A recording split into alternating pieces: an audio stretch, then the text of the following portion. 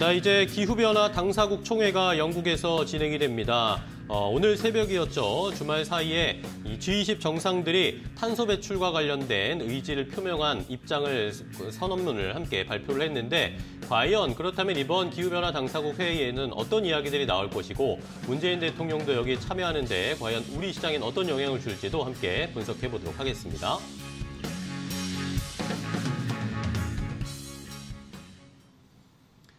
자, 이제 뭐 기후변화와 관련된 탄소 중립과 관련된 이야기도 주말 사이에 많은 이야기가 나왔습니다. G20 정상회의에 어, G20 정상들이 뭐 이제 그 산업화 이전보다 1.5도씨를 온도를 낮추는 뭐 전체적인 네. 기후 변화 관련된 대응 방법을 좀 찾았고요. 어, 이것에 대해서 이번에는 또 유엔에서 열리는 어, 기후 변화 당사국 총회 여기에 문재인 대통령도 참여를 하죠. 네, 예, 그렇습니다. 뭐 일단 기후, 그러니까 파리 협약 과 관련된 이제 연장선이다라고 보시면 될 것 같고요. 음. 뭐 COP라는 게 이제 기후 변화 협약의 당사국 총회고 20, 26위는 이제 26번째 한다라고 보시면 될것 어, 네. 같습니다. 네. 어, 일단 뭐 기후 협약을 체결한 이제 197개국이 참여를 하고요. 그 중에서 이제 120개국의 이제 정상들이 뭐 같이 참여를 하는 그런 형태다라고 보시면 될 것 같습니다. 일단 뭐 각국이 이제 목표로 한 온실 저감 가스에 대한 목표 바 바, 달성 방안을 이제 발표하는 그런 상황이다라고 보시면 될 것 같고요. 네. 어, 그러면서 이제 각국 정상들이 탄소 감축에 관련된 논의도 같이 하는 그런 상황이다라고 보시면 되, 됩니다. 어, 한국 대표단 같은 경우는 뭐 일단 단장 뭐 문재, 문재인 대통령이 참여석은 하지만 단장은 이제 환경부 장관이 이제 단장을 하고 있는 그런 상황이고요. 네. 얼마 지난주죠. 뭐 어, 2050 탄소위원회에서 발표한 이 국가 온실가스 감축 목표를 여기서 발표할 그럴 예정입니다. 그래서 2030년까지 2018년 대비 이제 40% 탄소 배출을 감축하겠다 라는 게 이제 뭐 발표할 예정이고요. 관련돼서 탄소 절감 홍보관도 같이 운영이 될 그럴 예정이다라고 보시면 될 것 같습니다. 네. 자, 그렇다면 여기에서 어떤 이야기들이 좀 나올까요? 우리도 어, 문재인 대통령이 뭐 연설을 한다던데 우리가 네. 뭐 기준을 제시할 것인지 아니면 이런 것들이 어느 정도 수준으로 나올지도 궁금합니다. 네, 일단 뭐, 뭐 2050년에 우리나라 탄소 제로를 하겠다라는 음. 뭐 선언적인 발표는 당연히 할 것 같고요.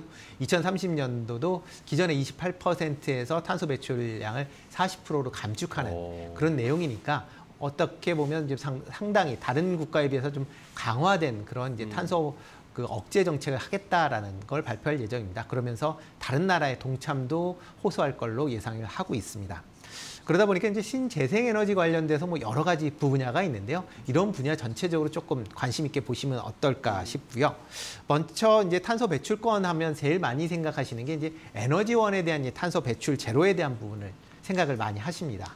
대표적으로 신재생 에너지다라고 보시면 될 것 같고요. 태양광이나 풍력, 그다음에 최근에 이제 원자력도 이제 친재생, 그러니까 탄소 배출을 이제 줄이는 그런 역할을 한다라는 그런 이제 얘기들이 나오고 있습니다.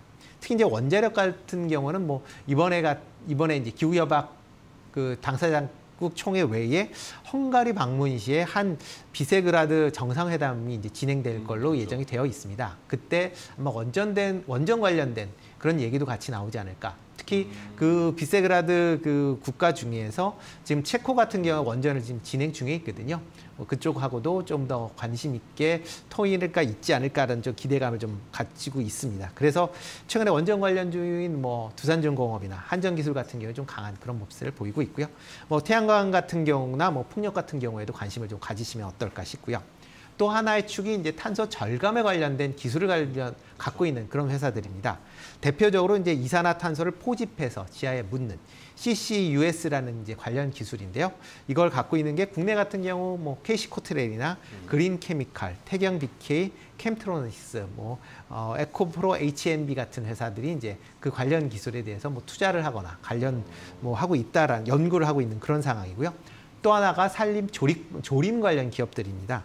대표적으로 이건 산업이나 한솔 홈데코 같이 해외 조리, 조림 산업을 하는 이제 그런 기업도 탄소 배출권에 관련된 이제 태추, 탄소 배출권 이제 그 권리를 이제 부여를 받기 때문에 그런 이제 부가적인 수혜도 가능하지 않을까 싶고요. 기타 뭐 온실가스나 바이오가스, 뭐 탄소 포집 흡착제 이런 쪽으로도 조금 관심 있게 보시면 어떨까 싶습니다. 네.